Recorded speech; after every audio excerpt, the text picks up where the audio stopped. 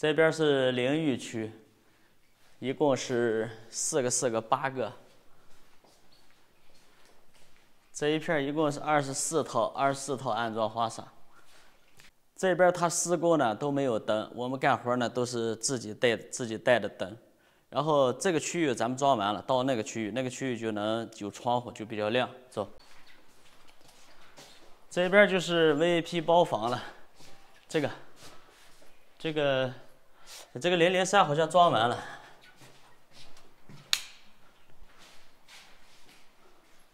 啊，零零三，零零三这个，零零三这个装了。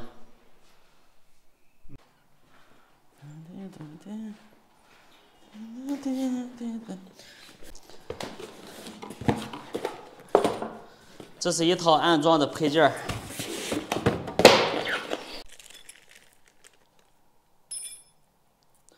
这里面有一颗顶丝，顶丝是这儿的。当我们安装好以后，把这个插到位，然后这个顶丝就可以把它锁在一起。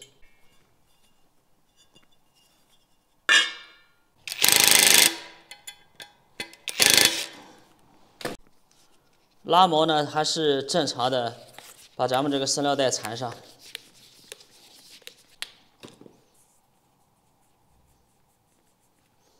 然后呢把它再组合在一起。这个地方也来点，少来一点点就够了。这个我们就做好了。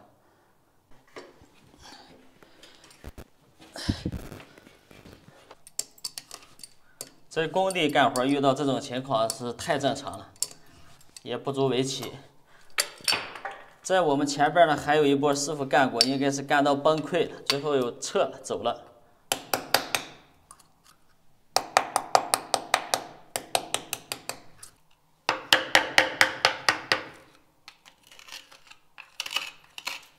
这个周围打开以后呢，看它里边都是空的，很多下边它也都是空的，防止我们安装好以后呢，万一有漏水的话，它会往这个边边里面去渗。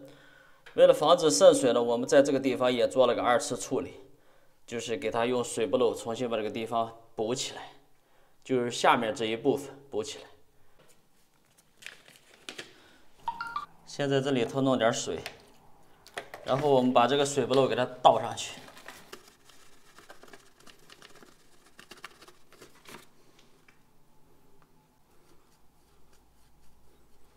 用水不漏把这里边这个缝儿呢都给它贴起来。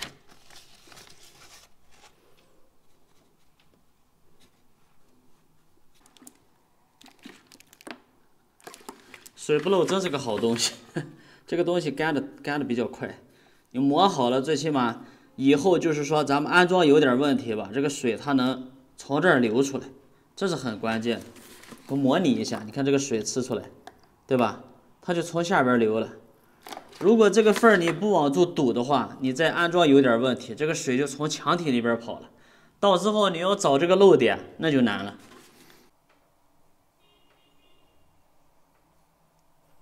涂抹的也就是一半，上面我们就不用管，上面虽然是空的，但是也不用管，只要只要这个水能从这儿流出来就可以了。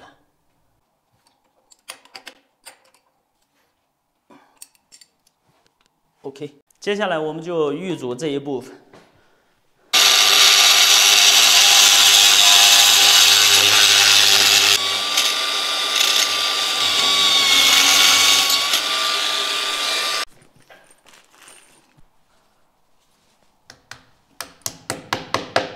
打两个胀塞。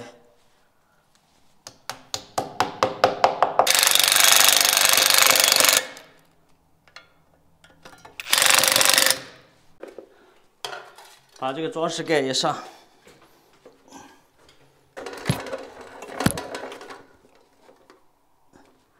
别忘了这里还有一个顶丝，这个地方这有一个顶丝，这个顶丝要给它锁住。如果里面的水管是个活的话，那一放水它就跑了，锁住它就跑不了了。角度的话，后期可以随意调节。